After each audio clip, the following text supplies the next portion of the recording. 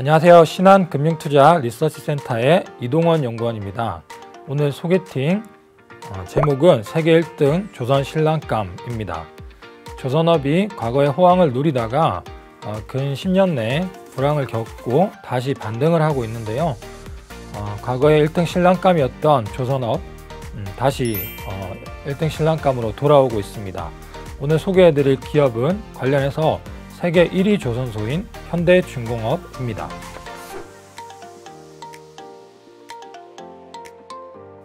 네, 현대중공업에 대해서 오늘 같이 살펴보도록 하겠습니다. 먼저 현대중공업의 지분율과 지배 구조를 보시면요. 현대중공업은 2017년까지 현대중공업 하나의 회사였고 17년에 분할이 돼서 어, 다양한 사업들이 각각의 회사로 나누어졌습니다. 그리고 어, 지금 현대중공업이라는 이름이 2017년까지 존속되다가 어, 비상장으로 있다가 어, 작년인 2021년 9월 달에 다시 재상장이 되면서 시장에 등장을 했습니다. 현재 지배 구조는 모회사인 한국조선해양이 78%를 갖고 있고요. 한국조선해양은 다시 모회사인 HD현대, 과거의 현대중공업 지주였던 이 모회사가 지분을 갖고 있습니다. 현대중공업은 순수 조선 회사로 세계 1등, 지금 과거에 가장 많이 많은 배를 만든 조선소로 알려져 있습니다. 어, 다음으로 조선업에 가장 큰 영향을 미치는 어, 성과에 대해서 볼 텐데요. 성과는 과거에 발주가 어, 줄어들었다가 최근 상황들이 발주가 늘어나는 구간으로 진입을 했습니다. 2020년에 코로나 팬데믹 이후에 컨테이너 물동량이 증가를 하면서 컨테이너 발주가 어, 전체 선박 시장을 이끌었고요. 어, 작년과 올해 어, LNG 친환경 수요가 증가를 했고 러시아 우크라이나 전쟁의 영향 때문에 이 LNG 선박들이 굉장히 많은 발주를 어, 가져왔습니다. 따라서 이런 수요 증가 때문에 성가 배 가격이 급증을 했는데요. 최근 4년 내 성과를 어, 보시면은 지금 어, 과거 4년 내 최, 최고점이다는 걸 보실 수 있습니다. 앞으로도 이 높은 성과는 한동안 계속 지속될 거라고 보고 있고요. 뒤에서 보실 어, 원가, 후판 같은 이 어, 재료비가 하락할 거기 때문에 이익이 계속 증가한다고 볼 수 있을 것 같습니다. 네, 현대중공업의 수주 및 실적을 살펴보면 어, 수주는 조선사들이 배를 어, 주문을 받는 것을 수주라고 표현을 하는데요. 이 수주를 받고 매출이 일으켜지는 이 실적까지는 보통 2년 정도의 시간 차이가 있습니다. 배를 한 척을 주문해서 만들어줘서 다시 갖다 주는 데까지 걸리는 시간이다. 이렇게 생각을 하시면 되는데요. 이 수주는 2020년 어, 4분기부터 증가를 했고요. 2년이 지난 올해 4분기부터 매출이 본격적으로 증가를 하게 됩니다. 내년, 내후년까지 매출이 증가하는 이 수주가 계속 쌓여 있는 상황이기 때문에 이 실적과 이익이 계속 우상향할 것으로 예상이 됩니다. 네, 표에서 보시는 것처럼 현대중공업의 매출액은 21년에 8조 원 수준이었고요. 올해는 10조 어, 가까이, 어, 내년인 23년에는 12조를 넘어설 거로 설 것으로 예상이 되고요. 영업이익은 어, 내년 내후년 계속 증가를 해서 24년 정도면은 1조 원에 가까운 영업이익을 낼 것으로 보입니다. 네, 최근에 수주 상황들을 조금 더 살펴보면요. 어, 코로나가 2020년에 시작이 되었는데 이 코로나의 상황이 어, 어, 이동이 제한이 되면서 서비스 수요, 뭐 외식이라든지 여행 수요가 감소를 하면서 어, 모든 가구에서 재화 소비, 뭐 가구라든지 IT, 가전에 대한 수요가 증가를 했고요. 이게 미국도 마찬가지였는데 어, 중국에서 미국으로 가는 컨테이너 물동량이 급증을 하면서 컨테이너 선사들이 굉장히 많은 돈을 벌게 됩니다. 그리고 이게 발주로 이어졌는데요. 2021년 어, 컨테이너 발주량은 사상 최대치인 430만 TU를 기록을 했는데요. 이게 과거에 2007년에 어, 초호황이었던 시기보다 더 많은 숫자입니다. 컨테이너 발주가 늘어나면서 조선사들은 그동안의 수주 가뭄을 어, 해결을 하고 조선사의 배를 만드는 공간을 도크라고 표현하는데 이 도크의 많은 부분을 컨테이너선으로 채우게 됩니다. 이후 2021년에는 어, 친환경에 대한 이, 이슈가 많이 부각이 됐는데요.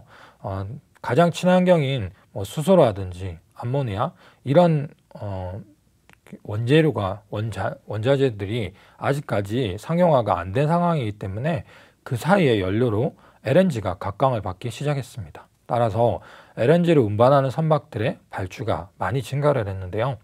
21년이 작년 연간 LNG 발주는 어, 75척 정도였고요. 척당 2억, 2억 4천만 불 정도 하는 굉장히 부가가치가 높은 선박입니다.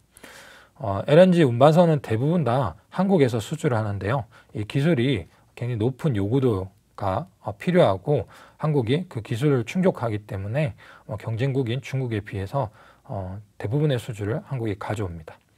이런 상황에서 올해 2월 달에 어, 러시아와 우크라이나 전쟁이 시작되었고요.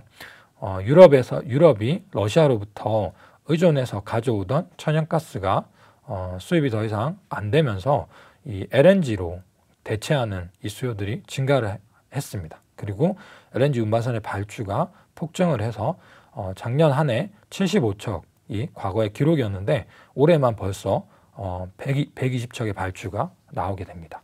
그리고 이런 기조는 LNG 투자가 계속 증가할 걸로 보이기 때문에 앞으로 상당 기간 LNG선 발주는 어, 호황을 누릴 것으로 예상되고 현대중공업을 포함한 한국 조선사들이 이 수혜를 같이 누릴 것으로 보입니다. 네, 이렇게 수주와 실적이 좋아지는 것을 이야기해 봤는데요. 이제 원가에 대해서 이야기를 해보면 조선업에서 원가는 크게 재료비와 인건비 이렇게 구분을 해볼 수 있습니다.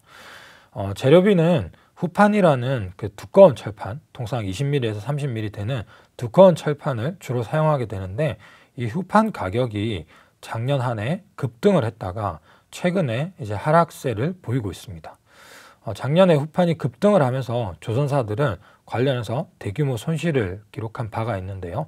이 후판가가 다시 내려오면은 어, 이익이 개선되는 모양을 보일 수가 있습니다. 따라서 이 후판가를 어, 좀 더 살펴보게 되면은 올해 4월 대비해서 현재 한 20% 정도 하락을 했고요. 조선사들의 향후 이익 증가에 대해서 좋은 기여를 할 것으로 생각이 됩니다. 네, 포스코 같은 경우에 작년에 굉장히 많이 돈을 벌었고 올해는 요 요거랑 좀 반대로 조선사들이 이제 돈을 벌기 시작하는 구간에 진입할 것으로 생각이 됩니다. 그리고 이제 공급에 대한 부분을 추가로 봤을 때 어, 조선사들이 수주를 하고 매출까지 또는 이제 배를 갖다 주는 인도 시점까지 이 시차를 보게 되면 조선사들의 공급이 얼마나 부족한지 많은지를 알 수가 있는데요. 최근에 이 수주에서 인도까지 시차는 3년 이상으로 굉장히 길어졌습니다.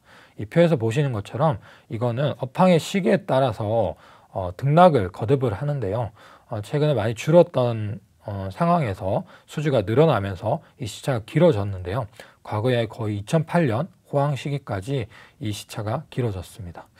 이 공급이 그동안 10년 동안 조선이 불황을 겪으면서 어, 많이 제약이 됐고 이 공급이 없다는 측면 때문에 조선사들이 어, 남아있는 조선사들이 수혜를 보고 있는 입장입니다. 네, 조금 덧붙여서 어, 주요 조선사들의 점유율을 보게 되면요. 한국의 5대 조선사로 불리는 현대중공업과 어, 현대사모중공업, 삼성중공업, 대우조선, 어, 현대미포조선 이렇게 다섯, 다섯 개의 조선사와 중국의 최대 조선사인 CSSC까지 포함을 해서 이렇게 여섯 개 조선사를 보면 2007년 점유율이 어, 전체에서 25% 정도를 차지를 했고요. 작년인 21년에는 이게 50%까지 증가를 하고 올해 같은 경우에는 60%까지 증가를 했습니다. 이 사이 동안에 조선사들이 구조조정이 됐고 경쟁할 조선사가 없어지면서 이 상위 조선사들이 어, 수혜를 누리고 있는 상황입니다. 이런 기조는 계속 갈 것 같은데요. 조선사는 하루아침에 생기지가 않습니다. 설사 만든다고 하더라도 과거에 수주 경험이 부족한 조선사에게 이 오랜 기간 해운업을 영위한 이 발주사들은 어, 수주를 이렇게 발주를 주지 않는 그런 모양을 보입니다. 네, 마지막으로 최근에 좋은 LNG 업황에 대해서 조금 더 살펴보면요. 이 러시아가 어, LNG 수출에서 큰 부분을 차지하는데 이 수출이 막히면서 다른 많은 국가에서 이 천연가스 수요를 LNG 수요로 대체하고 있습니다. 어, 자료에서 보시는 것처럼 LNG 운반선에 대한 수주 잔고랑 이 신조성가 어, 가격이 굉장히 많이 올라갔고요. 한 18개월 전에는 이 척당 가격이 1억 8천만 불 정도 했는데 지금 2억 4천만 불 정도를 기록해서 한 30% 정도의 배 가격이 어, 올랐습니다. 그리고 환율이 어, 18개월 전 대비하면은 1,100원에서 1,300원 수준으로 20% 가량 올랐기 때문에 어, 원화를 기준으로 하면은 배의 가격은 거의 50%가 상승해서 여기에 대한 수혜를 어, 조선사들이 계속 누리게 어, 될 것으로 보입니다. LNG 플랜트는 어, 지금 프로젝트들이 계속 늘어나고 있는데요. 이런 프로젝트가 어, 과거에 투자가 계속 지연됐던 부분들이 있는데 지금은 LNG 수요가 계속 증가를 하면서 프로젝트들이 계속 늘어나고 있고 관련된 LNG 운반선이나 LNG를 저장하는 LNG FSRU 그리고 LNG를 개발, 개발하는 FLNG 같은 이 고부 가치 선박들이 어, 전체 시장의 수주, 수주를 이끌 것으로 보입니다. 네, 오늘 어, 조선업에서 현대중공업에 대해서 살펴봤는데요. 어, 어떻게 보셨나요? 음, 이만하면은 다시 조선업이 상승 기조가 이어지고 현대중공업이 1등 신랑감으로 다시 어, 돌아온 것을 확인하실 수 있으셨을 거라고 생각이 됩니다. 네, 어, 저는 여기까지 말씀드리고 다음 기회에 또 찾아뵙도록 하겠습니다. 감사합니다.